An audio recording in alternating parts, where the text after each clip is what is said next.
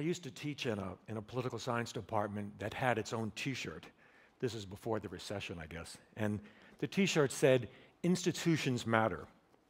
Well, currently, the American Congress has a 9% approval rating. You sort of wonder who those 9% are. And so it's easy to conclude that, that institutions matter. But maybe really, maybe it isn't that simple.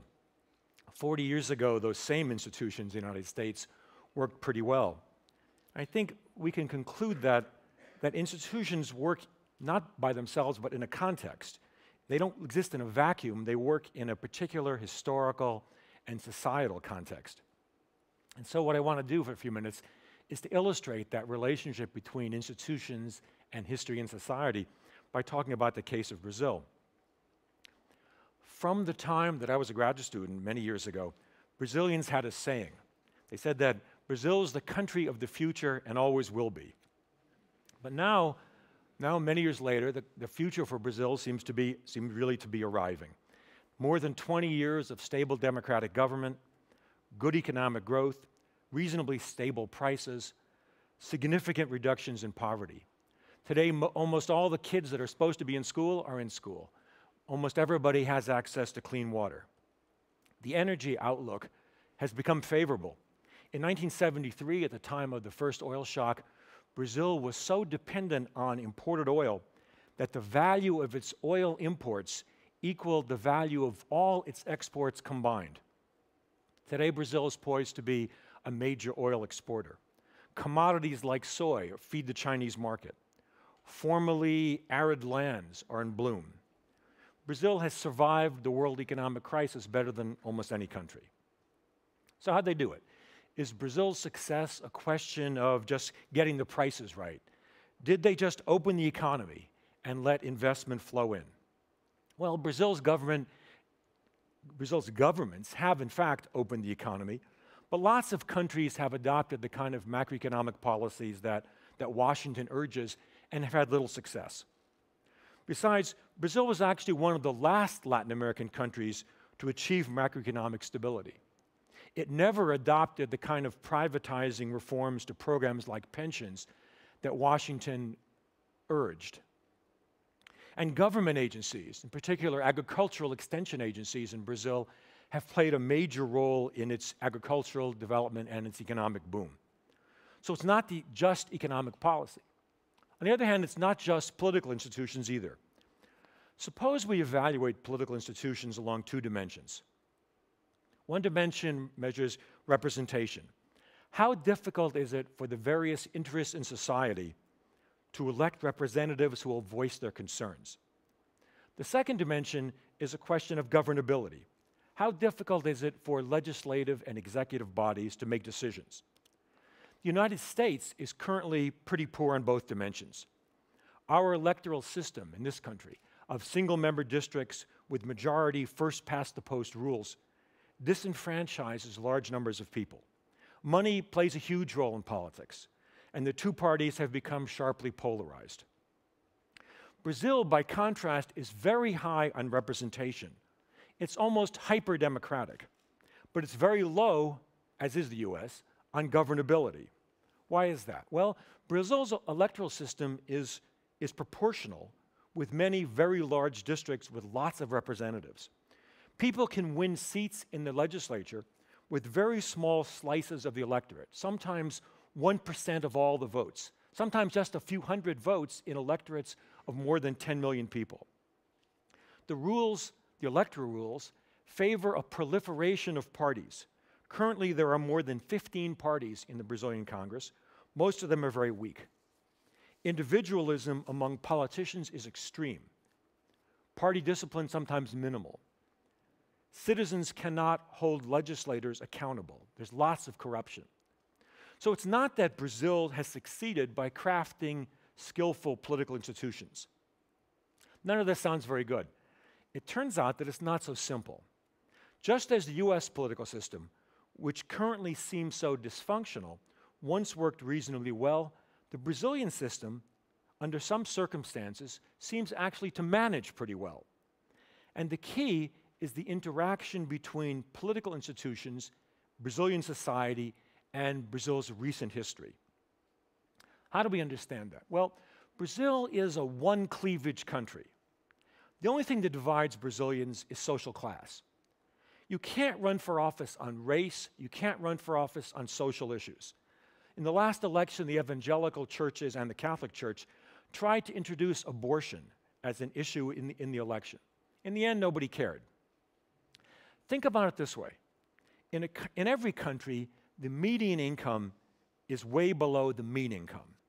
And in Brazil, where the distribution of income is even worse than the United States, the median income is way, way below the mean income. So then you have a natural constituency for redistribution. Big majorities of the population will always benefit from taxing the rich minority. For elites, this creates a big problem. In a one cleavage country like Brazil, redistribution is not something they can easily escape. Like US Republicans, they can talk about class warfare, but in Brazil, no one takes that seriously. Or they can claim that the moderate left is really a radical left and will lead the country into economic ruin. And that's actually what they've done. That's what the center and the center right parties have done for many years. They claim that the left was really the beast in the closet, ready to lead the country into socialism and ruin.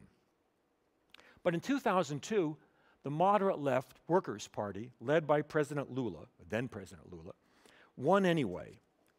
Be- perhaps their most important initiative, beyond, beyond macroeconomic stability, beyond maintaining that, their most important initiative was a targeted social program called Bolsa Familia.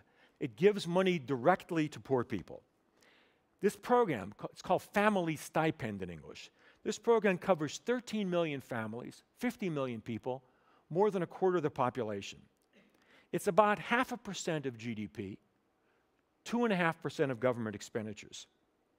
Single handedly, it has reduced the poverty level in Brazil by about 10 percentage points. It stimulates demand for food and clothing, for housing, and thus it stimulates the economy.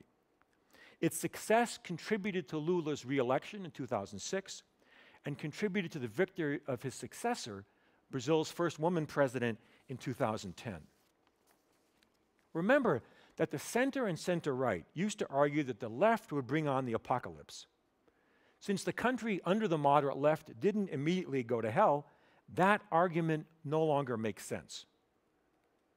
But the right wing parties, the center right and the right, also have a historical problem.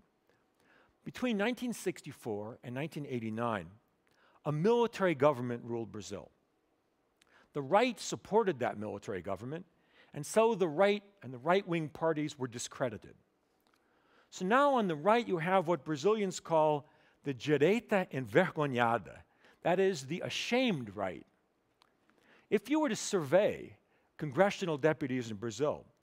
It turns out that even right wing deputies place themselves, they self place, on the, on the left or the moderate left. You just can't quite be a serious ideological conservative in Brazil because it's a country with a particular history discrediting the right and with a particular distribution of income. This doesn't mean that there are no conservatives in the Brazilian legislature. Of course, there are.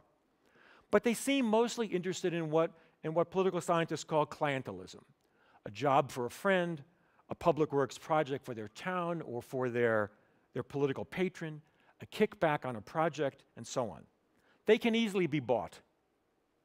The moderate left, by contrast, is pretty disciplined. Not that they don't have corruption problems, but the government can count on majority support for its initiatives when it wants it. So, all this means that in this case, these perverse institutions work reasonably well. A moderate left government can govern. It counts on pretty unified support from the left, and it can buy enough votes from the center and center right to cement together a majority. If the right were to win, the left would oppose that government's initiatives en masse, and a rightist government would still have to buy support from the right and the center.